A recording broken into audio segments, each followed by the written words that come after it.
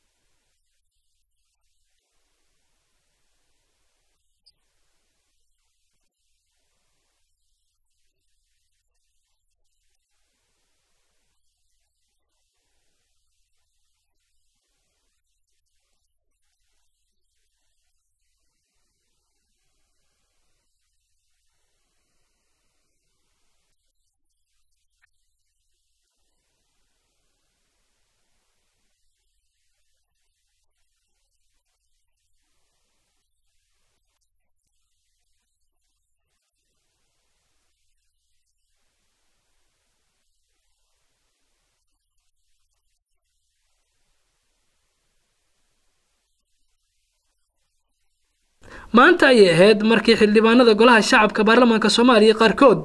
gaar ahaan kuwa mooshinka wada ay doonayeen in loo qaybiyo mooshinka ka dhanka ee guddoomiye jawaari. Balse guddoomiye jawaari iyo ku-xigeenka labaad oo goobta gaaray ayaa la sheegay in carqalado ay ka sameeyeen halkaasi.